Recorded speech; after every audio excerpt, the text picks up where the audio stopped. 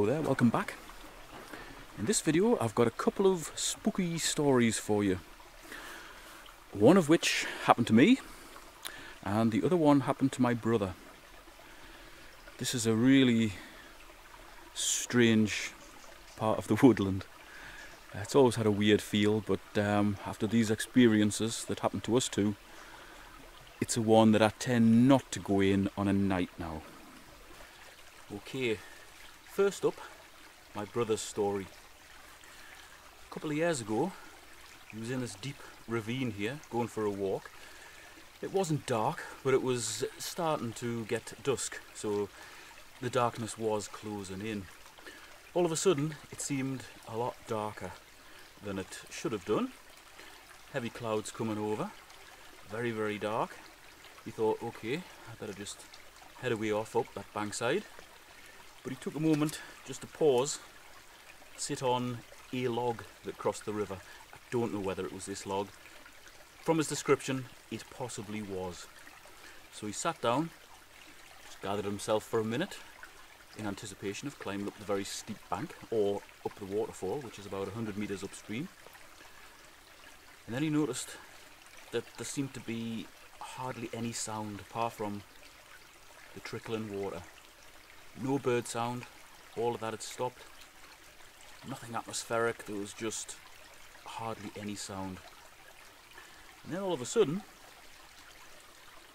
through his backside, he felt two distinct knocks on the other end of the log. Just like that. Felt up through his backside. Looked across, you could still see perfectly clearly. Nothing whatsoever there. And he had the overwhelming sense of dread that's going to come with the next story I'm going to tell you. Needless to say, he's scarpered. Now, apart from having a crushing feeling of dread, my brother had the, not the knowledge, but the, the distinct impression that there was something looking at him. He could feel eyes boring into him. And that's exactly what I felt, except my experience was in the pitch black. Whoa. Here's something really strange and almost Blair Witch like. Look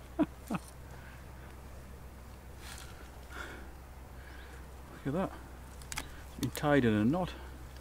But not only has that one been tied in a knot, so is that one.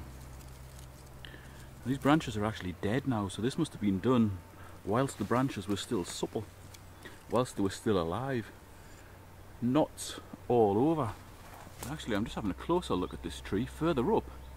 Up here there's a knot there, and look at the state of the trunk. I wonder if that has actually been tied in a knot at some point as well. This was what happened to me a couple of years ago. I'd been out metal detecting on a night because sometimes I can't get out during the day. I was coming up this path which has got a mill race running along the side of it. There's the mill race. It's very difficult to tell because it's overgrown but it basically runs up the side of the path. You can see if you had a choice of walking anywhere you would walk on the path. You would not walk through that. There's a lot of branches snapped off in it, a lot of holly grown over it, brambles, all sorts of muck. You're going to stick to the path. But there was something in that mill race one night when I was here walking very quietly through the wood.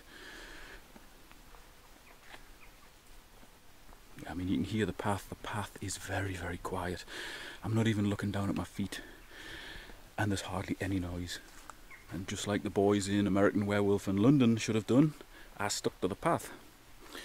That didn't stop something from following me. I was coming up, bear in mind it was pitch black. Not like it is now, it's totally light. I literally couldn't see my hand in front of me, there was no moon visible, a lot of cloud cover.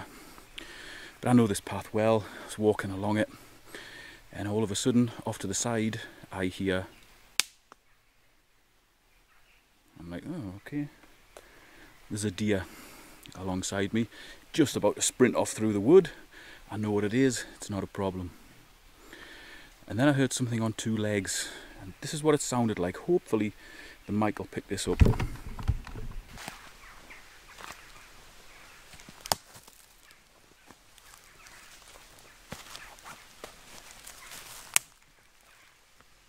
Now you could just see that's just him.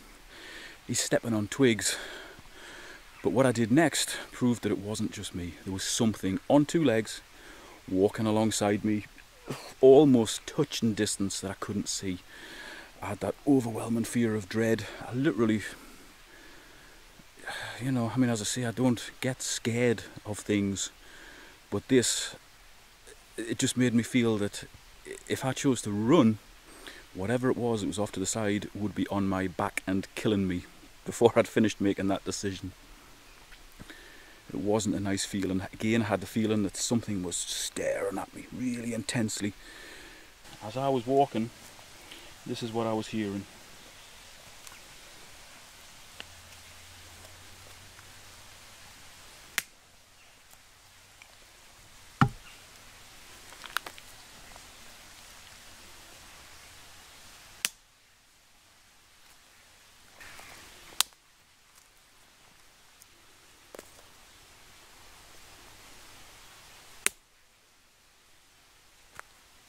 And if you know that you're not the one making those branch cracking sounds, and there's something on two legs that you can't see just to the side of your vision, it would take some ridiculous hard man not to crap themselves. I was scared beyond belief and I just slowly walked out of the wood. As soon as I got out in the field, I could see that nothing was following me. Everything was okay the feeling of dread had gone, but for that minute, maybe two minutes, that felt like an eternity. Um, I don't know. I don't really know what to say about it. It was unless you've gone through something like that, um, you, you won't know what I'm on about. But it was very disconcerting, and then later to learn that my brother had a very similar experience near here was uh, was really weird. I've always loved the supernatural and everything. You know, I've always been into ghosts, witches, vampires, monsters, cryptids, I suppose, to a point. And it's my interest in that that's led me to hear of similar stories.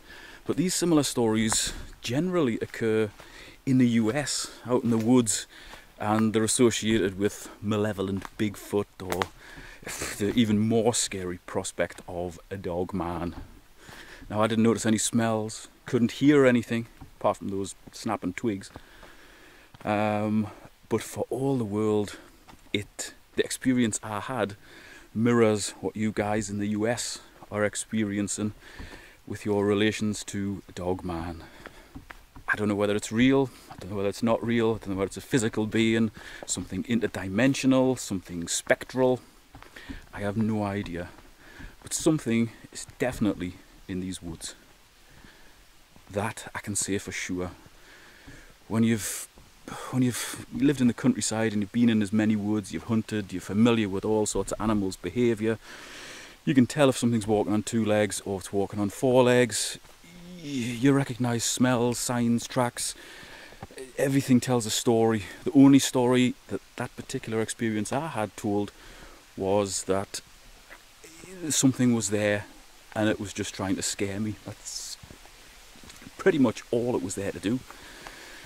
I got the sense it was there to kill me, but um, it didn't, and I don't know why because I have the feeling that it could have. But if you've had a similar experience, please let me know in the comment section down below. It'd be interesting to see if it was just all in my head and I was having auditory hallucinations or whether it's something that actually goes on and just is underreported through fear of embarrassment or ridicule. Thanks very much for watching. See you next time.